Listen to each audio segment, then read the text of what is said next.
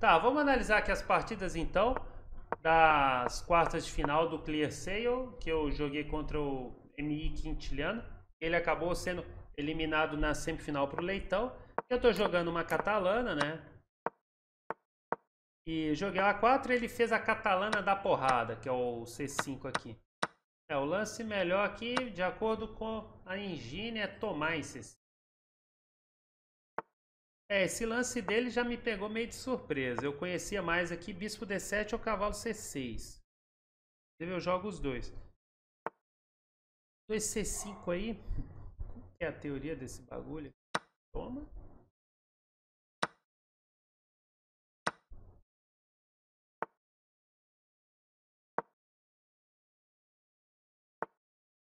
Ana aqui me pegou numa boa preparação nessa. A posição é grandes coisas aqui. Nada, né? É, tudo Não aconteceu nada disso. Voltando aqui pro game.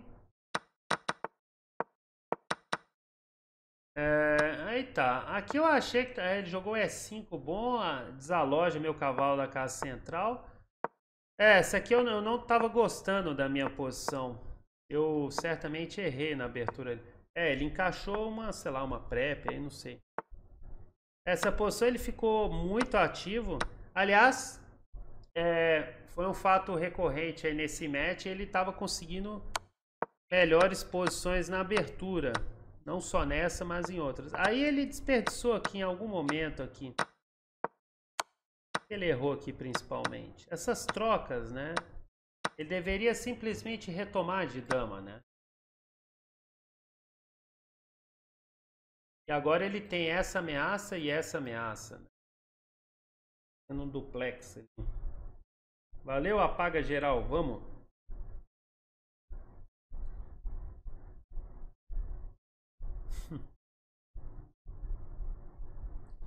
É, e assim, é, eu acho que a sina desse match contra o Quintiliano, né, do, das quartas de final do Clear Sale, foi, foi essa questão. Ele estava achando muitas posições boas, né, na, na abertura e depois ele desperdiçava, né, e aí... Então aqui, por exemplo, depois dessa confusão tática, ele desperdiçou a vantagem que ele tinha, né. Aqui eu até estava esboçando alguma tentativa de pressão, mas não tinha nada muito particular. Esse final de torres, por exemplo, não vou ganhar nunca, né? Nem eu vou ganhar, nem ele vai ganhar, né? Eu tenho a atividade de torres na sétima fila, que é um tema estratégico, até é, é o tema que a gente tem trabalhado nas quartas-feiras, né? O elemento estratégico. As torres na sétima, elas colocam muita pressão, mas aí é, ocorreu essa repetição. É, realmente é muito difícil, tanto para mim forçar esse, esse final de torres, quanto para ele. A repetição acho que está justa aqui. Por exemplo, ele nunca consegue dobrar na sétima, porque eu tomo em F7 defendendo F2. Né? Então ele... E outra, se eu não defender o peão de A5, ele toma, né? É. Eu acho que ele desperdiçou alguma coisa aqui atrás, né? Eu tenho que checar depois essa abertura dele. É, o E4 dele já é... A máquina aqui, pelo visto, está querendo sair com as peças, né? Dama A5 e trazer as torres, né? Que faz muito sentido. É, realmente eu não sei o que, que eu faria se ele jogasse simplesmente dama A5, torre C8 e torre D8. Essa minha dama tá mal.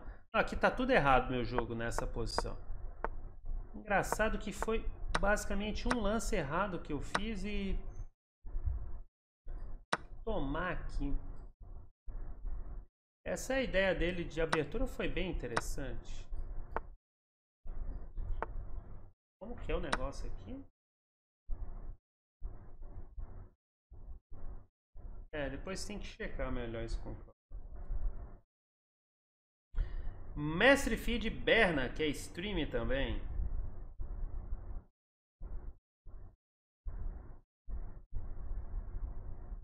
Ô Berna, o pessoal tá perguntando aí no a questão de qual que é, vamos aproveitar e escutar a opinião do Berna aí. Qual que é a sua opinião, Berna? Xadrez e relacionamento. Qual que é a tua opinião aí? Dá para jogar bem xadrez e, e, por exemplo, namorar? pessoal tá perguntando aí. Não dá, Pri? Minha esposa falou que não dá. Ou é uma coisa ou outra? Hã? Ó, parem todas as máquinas aí. Parem todas as máquinas. um relacionamento todo brigando com xadrez. Como que é? Como que é? Faça um relacionamento inteiro brigando com xadrez. Com namorado. Xadrez é a Que isso? Xadrez é amante? Tá louco? Caramba, minha esposa falou que. Isso. Ela tá zoando aí, né? Não, fala sério. Você não tá zoando? Não, você gasta muito mais xadrez. Isso, não, é. Tô em casa aí inteiro aí te dando todo apoio, todo amor e carinho.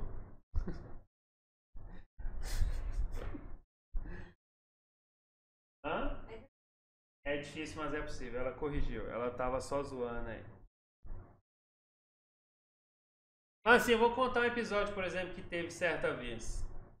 É um pouco difícil conciliar, às vezes, as coisas. Por exemplo, eu ia jogar um torneio na Argentina. aí, É um torneio de nove. Certa resposta. Torneio pedreira lá, né?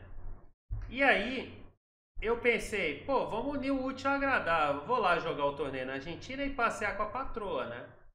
Então, eis que a gente foi, né? Eu ia jogar o torneio e ainda tentar passear com ela em Buenos Aires. Resultado da, da- da- do experimento. Eu fui mal no torneio e não consegui passear com ela. Quase lugar nenhum.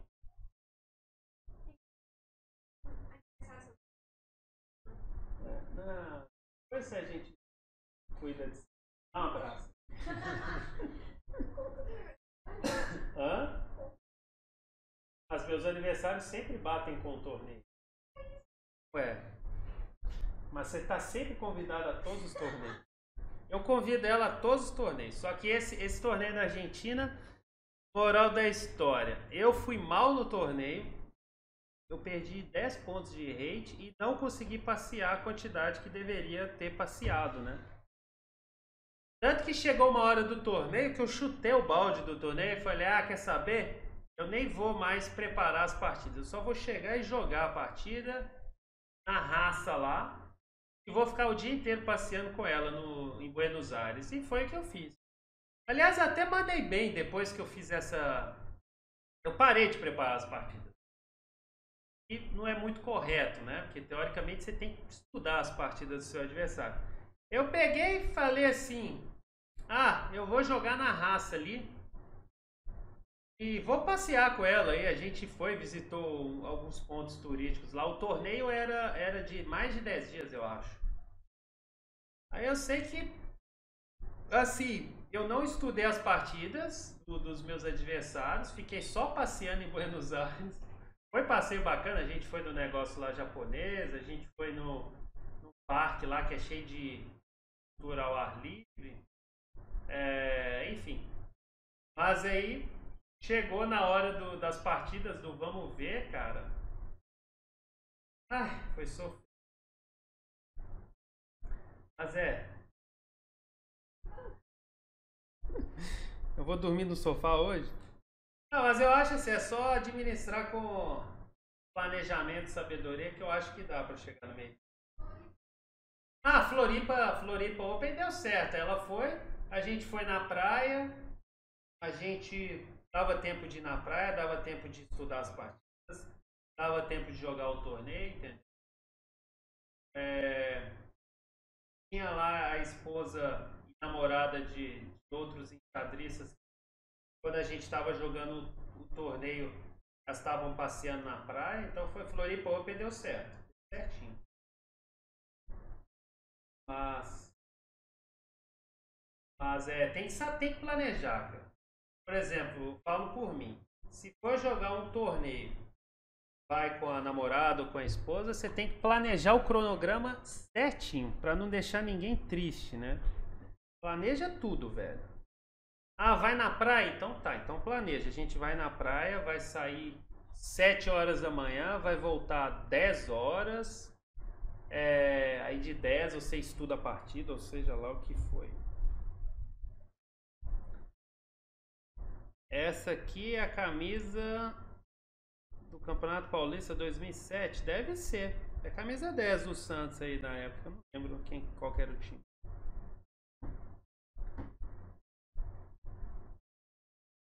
É, pois bem, mas eu acho que é só administrar com sabedoria que dá. Valeu pelo follow Dino Barros. Mas enfim. Mas assim, se você for jogar um torneio pedreira, pedreira mesmo, igual esse da Argentina, aí você tem que. Rapaz, aí é complicado. Porque. Porque daí. É, enfim, é difícil, é complicado. Mas enfim, é isso aí. É... Quantos Floripas Open já joguei? Eu acho que eu joguei todos Floripas Open. É desde 2015, né? Então, 2015, 2016, 17, 18, 19 e o 20. Joguei seis Floripa Open. A minha melhor colocação foi o vice-campeonato, no primeiro, inclusive, 2015. Eu fui vice-campeão. É, quase fiz norma de GM. Foi por um tri. Não, não é questão de dica de relacionamento. É só a minha experiência pessoal. Com a minha esposa. No Floripa Open desse ano, a gente conseguiu passear em Floripa. E eu consegui fazer um torneio razoável. Eu só não fiz um torneio melhor porque é incompetência minha mesmo na hora. Capivarada. Tá, então aqui nessa primeira partida a gente teve 98,2 contra 98,4 de precisão. Foi bem jogada, né? Mas é a partida em si é, eu acho que ele saiu bem da, da abertura aqui. Eu não estou entendendo por que, o negócio está preso nessa análise. É, mas aqui, por exemplo, ele estava muito bem, né? Aí a gente entrou nessa complicação, essa trocaiada de peça. Eu acho que já diluiu a vantagem dele. Esse final de torre já não é para não é para ninguém ganhar, né? É tablas. Assistiu o clipe? Deixa eu ver. Dar um clipe. Qual que é o clipe?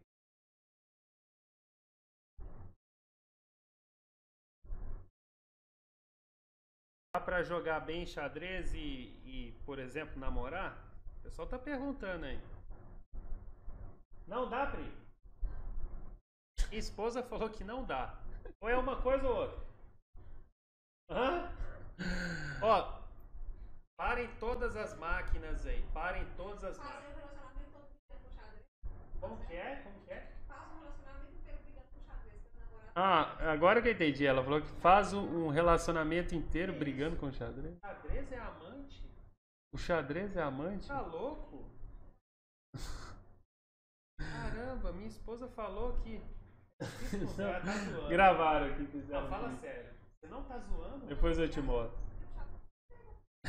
Isso, não, é. Tô em casa aí Que que é? inteiro aí te dando todo apoio, A vida todo amor e assim, carinho. então? Entre xadrez e esposa, Tem que conciliar as duas coisas então. e se você aprender a xadrez? Aprender a jogar bem, virar WG? Será que dá certo? Ai, ai.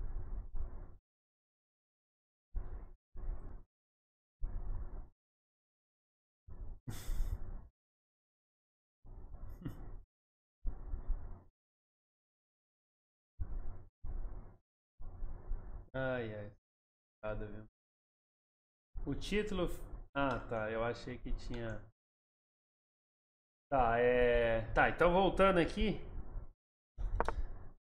Pois bem. É, agora vamos pro próximo game aqui. Tudo é questão de planejamento, entendeu?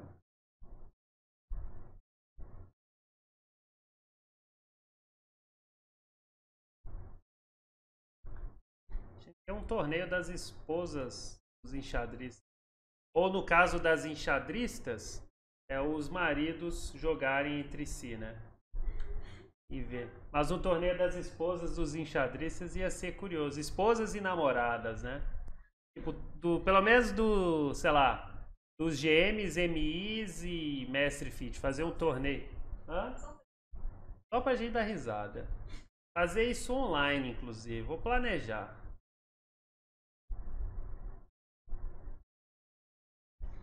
Vale a pena assinar sites como chess.com?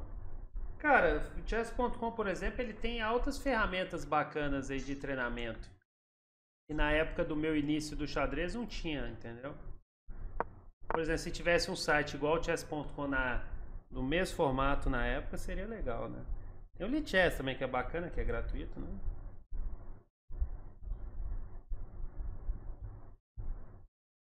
Live travou? Pra mim tá ok aqui.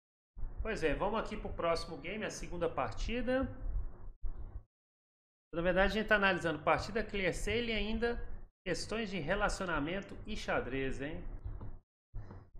Então quer dizer que eu vou ter sempre uma eterna briga entre os torneios de xadrez e minha esposa. Mas dá para conciliar. Ela, ela entende. Ela entende hoje em dia mais ou menos como é que funciona o mundo do xadrez. É... No início ela não entendia muito bem não. Custou cair a ficha assim. Não é não, Pri? Tô mentindo? Ela, sei lá o que ela foi fazer. É...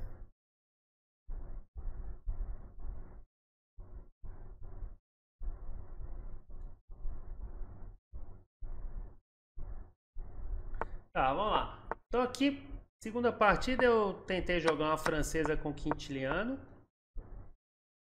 É, tem essa variante aqui, tranquila assim, eu acho, do, do jeito que seguiu aqui, né? Variante Rubinstein. Ai, né? É, a gente jogou o C3, eu, eu até previa que ele podia jogar essa posição. E aí ele mandou esse bispo B5 cheque aqui. Porque Geralmente o que eu tinha estudado aqui era cavalo E5 e bispo D3 e até um, uns outros lances aí de dama e tal, né? Tomar em C5 e tal. É, ele mandou esse cheque aqui, claro, bispo D7, tomou e, e chegamos nessa posição aqui, né? Aqui uma ideia que ele vai tentar encaixar de vez em quando é o D5, né? Mas eu acho por exemplo, se ele jogasse o D5 agora, eu não acho que é grandes coisa, né? Eu tenho tanto E5 quanto, cap... Opa, quanto captura, né? Vou analisar aqui um detalhe. Se eu tomar, ele vai tomar de dama. Vou fazer esse. Digamos que ele deu um chequinho. Será que dá essa posição? é meio solto aqui, algum problema, mas tá ok. Também tem um E5 ali para ser avaliado. Então eu não estava muito por dentro dessa posição, mas acabamos chegando a uma posição, a meu ver, estava equilibrada aqui. E aí eu vou conseguir perder essa posição. Olha isso. É para perder. Aqui também acho que dama C8 meu foi muito ruim, né? Eu deveria tirar a dama simplesmente para B7 aqui reservar as damas aqui.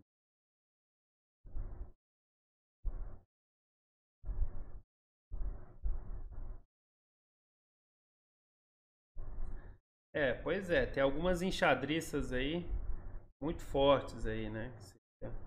Tem vários casais de, enxad... de jogadores de xadrez, né?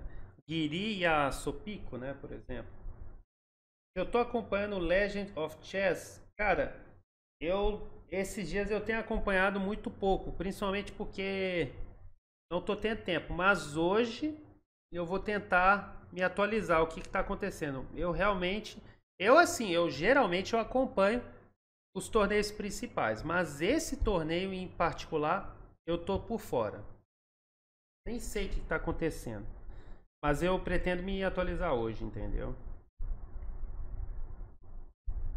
É... Ai, ai, Dani Bosa aí com a proposta Proposta complicada aí. Essa proposta aí polêmica. Priscila, tá aí? Sabe o que propuseram aqui? Olha, escuta aí, chega aqui.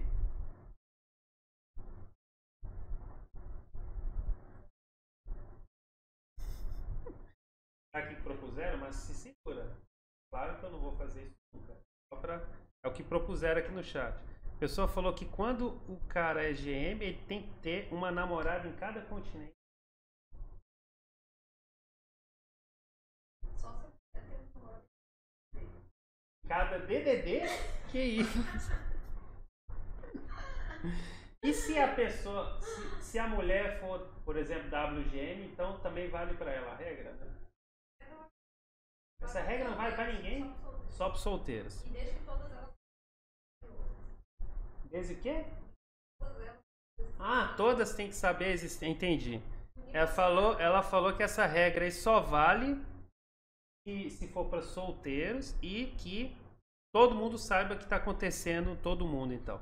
Então, se o GM quer ter uma namorada em cada continente, todas as namoradas têm que saber que elas existem e provavelmente a regra vai valer para elas também. Elas é. Aí, ó, nossa, filósofa. Ela falou que o problema, o problema não é ter várias namoradas, o problema é enganar as namoradas. ai, ai. É, e também vai, vai ser difícil, né, achar isso aí, né? Mas, pois bem, seguindo aqui. É, essa posição aqui era, não era para perder, né? A posição tá bem simétrica. Eu tenho algumas habilidades, mas aí eu vou começar a me enrolar. Nossa, vai rolar uma cravada Holândia aqui. Olha, que capivara. Mano, como que eu. Ai, vai rolar o show de cravadas. Aqui eu me cravei todo à toa, né? Cravada Holândia acionada. Eu achei que ia dar algum problema, algum BO nesse cavalo aí. Mas eu tava até me segurando. E aqui, opa, aqui. Eita, passei aqui direto, pera aí. Vai ter um momento que vai colapsar esse show da cravada Holândia aqui. Parece que eu tinha que ter jogado cavalo C7 ali em algum momento. É. Tinha que ter resolvido essa cravada Holândia. Aí eu sei que aqui caiu uma lasanha aqui em certo momento. Ah, na verdade nem caiu, né? Mas é, eu ainda continuei todo cravado, minhas peças descoordenadas aí. E acabei perdendo um peão ali. O problema é que não perde só um peão. As torres deles, dele ativaram muito, né? Aí eu joguei esse lance que abandona, né? Ué. Aqui tá falando que eu tenho vantagem. Eu joguei esse lance que perde. Tenho vantagem? Posição que eu penduro? Nossa, sério? Caramba. Eu não tomo mate?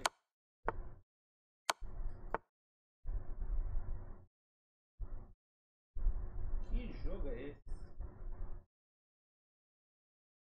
Vai cair F. Poder da cravada.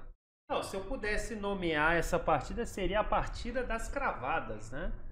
Teve cravada primeiro pra ele e depois pra mim. Ô, louco. Pediram pra chamar o Rajado. O Rajado tá lá tomando o solzinho dele. Não sei se ele vai me ouvir muito, não.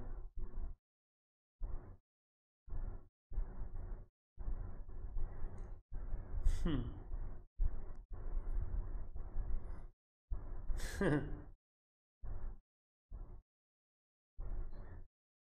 Não, isso é esse negócio aí dos gêmeos e das namoradas aí foram vocês que falaram aí. Eu só li.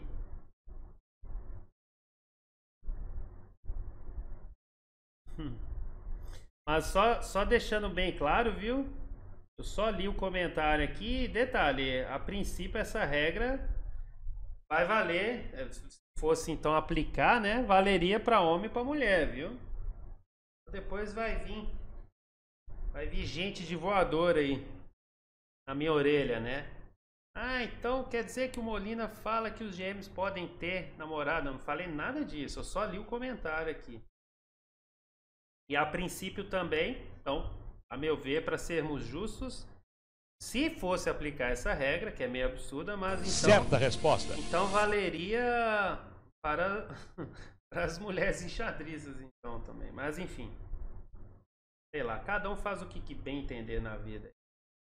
Olha o que follow especial, o belo nick, que eu prefiro não ler. Eu vou só soletrar, cada um lê se quiser. D-E-I-D-C-O-S-T-T-A. Aqueles nick pegadinha, entendeu? Ah. Então, obrigado pelo follow. D-E-I-D-C-O-S-T-T-A. Grande D-E-I-D-C-O-S-T-T-A.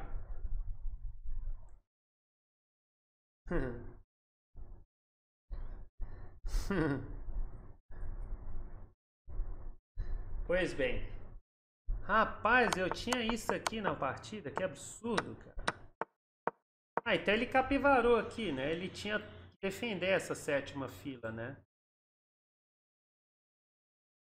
O jogo difícil.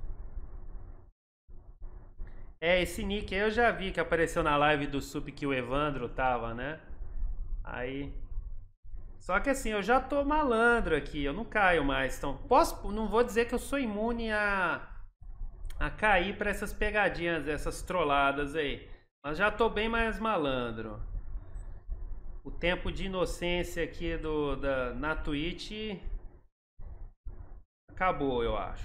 Mas é claro que de vez em quando vão pegar de surpresa, né? Alguém vai colocar o nick aí, eu vou ler rápido e vou cair na pegadinha, mas agora. Mas aqui eu fiz essa capivarada e abandonei. Por que, que eu abandonei? Porque ele te, teria essa sequência aqui, né? Pega minha torre.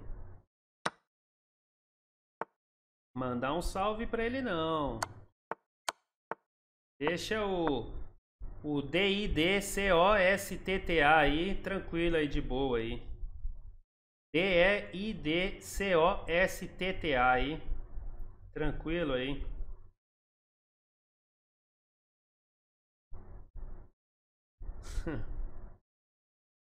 Mas beleza, é, tá, aí eu fiz essa capivarada e abandonei, né? Não deu nem tempo dele fazer a combinação.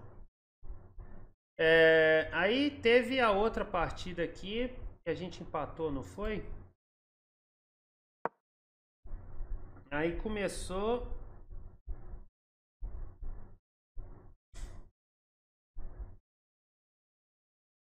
Começou aqui o. Pera aí. O duelo de Naidoff, né? Agora eu fui querer testar a Naidoff. Na verdade eu queria testar a dragão dele, mas ele ele tava jogando a Naidoff. E, eu, e a gente jogou várias vezes essa posição, né? É uma posição um pouquinho duvidosa. Aliás, deixa eu só checar aqui o relatório. Conheço quem? Quem que eu conheço? Não entendi quem que eu conheço. Não, é, eu tô com 2.500 seguidores. É que essa barrinha aí eu tenho que atualizar aí. Até poderia atualizar agora, mas depois eu atualizo. É porque não conta. não, não conheço não. Você conhece G Cunha Rodrigues? É brother seu aí? Se você conhecer, manda um salve pra ele aí. Eu não conheço não. É, partidinha que teve precisão alta ali, como vocês podem ver. 97,4 contra 97,5. Parem tudo, parem as máquinas. Vamos chamar o nosso fiscal preferido, que já foi número 3 do mundo. Tá, aí fiquei jogando, insistindo nessa posição. Insistindo nessa ideia. Não é uma ideia muito precisa. Aqui eu acho que eu deveria ter tentado algumas vezes o G4 aqui, mas tudo bem. Aí ficamos... Eu fiquei insistindo nessa ideia, uma ideia interessante, que eu dificulto a torre dele entrar em C8, mas a posição dele está muito firme e esse bispo é chato, né? Essa, essa é uma estratégia bem interessante dessa posição. Os bispos controlando as peças adversárias aí. E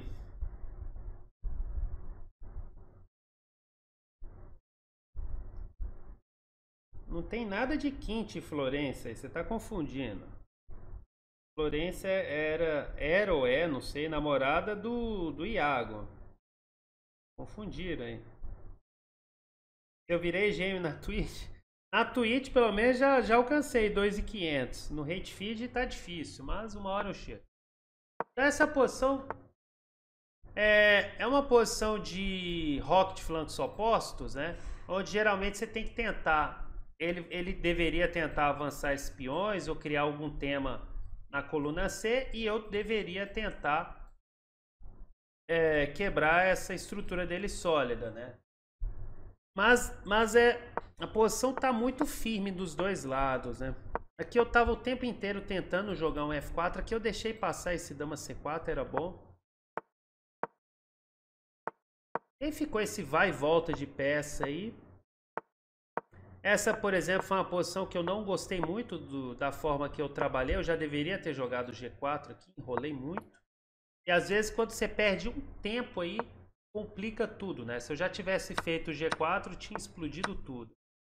É... E aí chegamos nesse final, né? Onde eu faço um peão passado, mas ele bloqueou bem, né?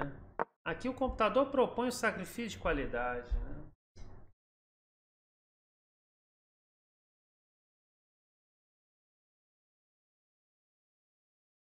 Não é tão fácil sacrificar essa qualidade.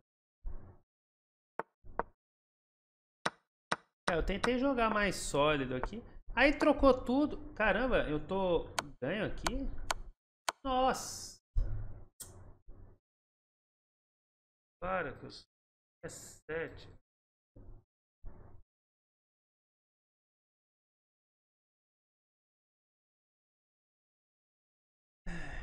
Tá bom, né?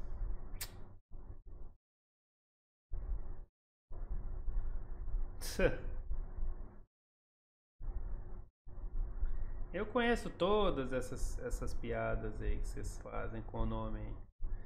Eu faço essas piadas desde a época da quinta série. Todas essas piadas. Eu tava na quinta série eu já fazia essas piadas aí. Tem uma aí é nova. Mas é. Nossa, mano, eu tinha torre S7 aqui. Capivara, tarda mas não falha. Nossa, torre 7 era matador. O detalhe do torre 7 é isso aqui. Se ele jogar torre F6, eu acho que eu tenho C3, não é?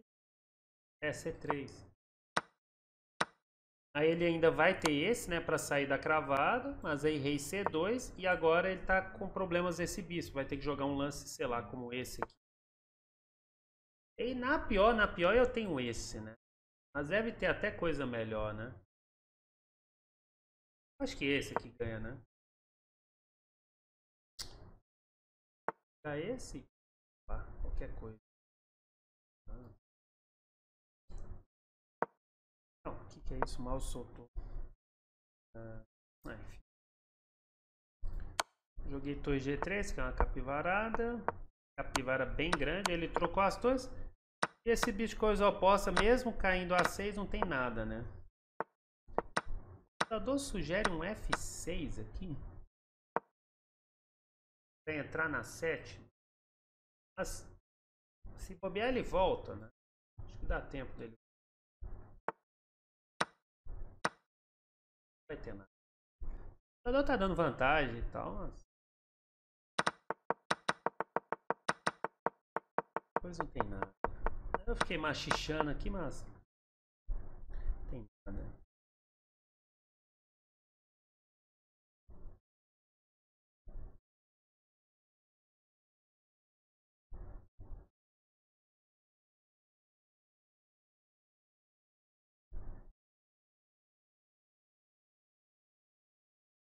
O vídeo tá travando aí? Hum.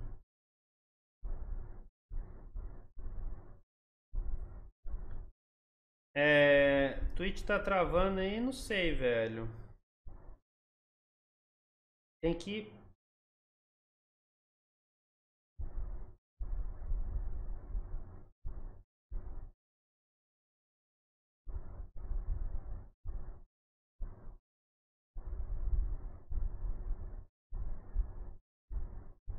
É, eu não sei porque que tá travando a Twitch aí. A sua aí, Jordano. MY. Realmente tem que ver.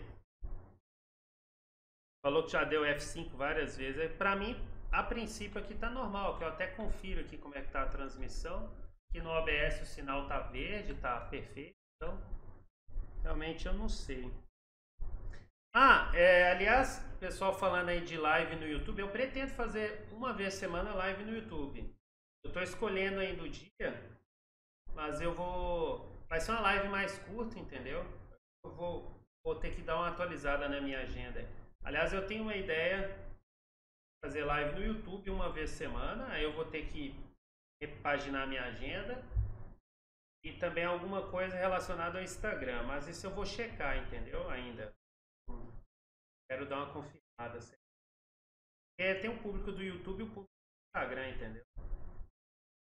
Claro que nessas lives eu sempre vou tentar convidar alguém, né? Convidar alguém aí. É, essa daqui eu desperdicei, né? Tive minhas chances aqui bem concretas, né?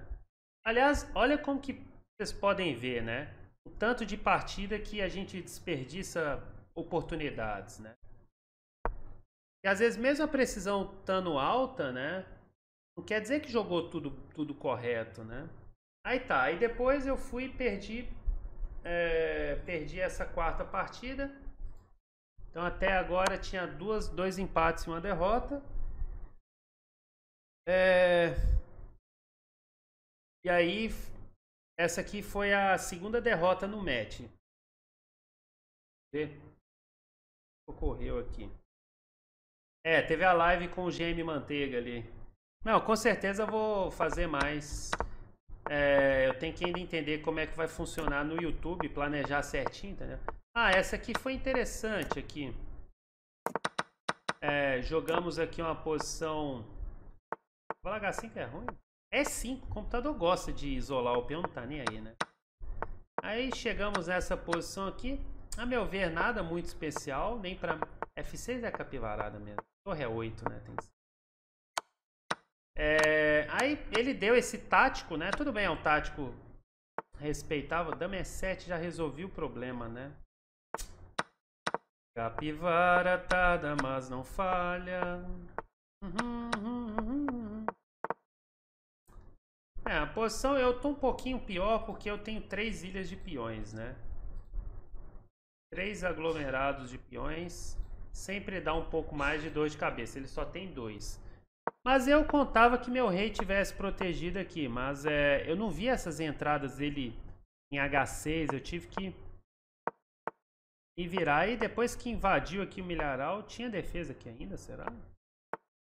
Ah, torre H5, mas eu vou jogar um final perdido. É. Aqui eu bobiei total aqui. Tinha que ser dama E7. Eu cuidei mal desses, desse milharal aqui. Foi uma defesa ruim de milharal aqui. Ah, com certeza. O primeiro convidado vai ser o Mequinho. Convidar os seguidores para participar da live de 24 horas.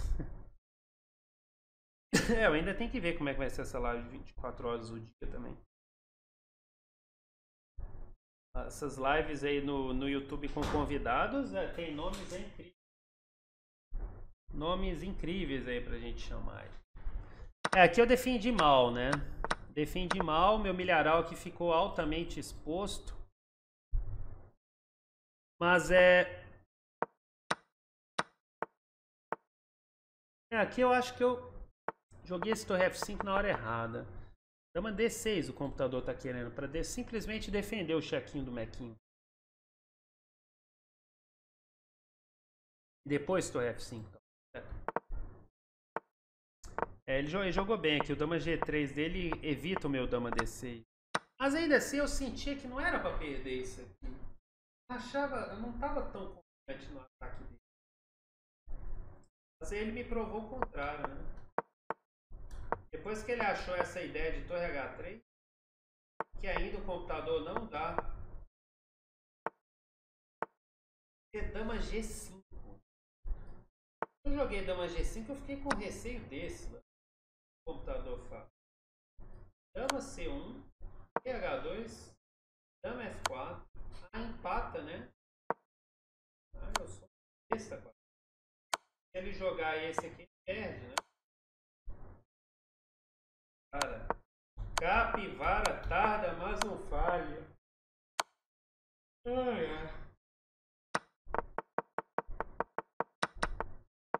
É. Vacilei, né? Fazer o quê, né?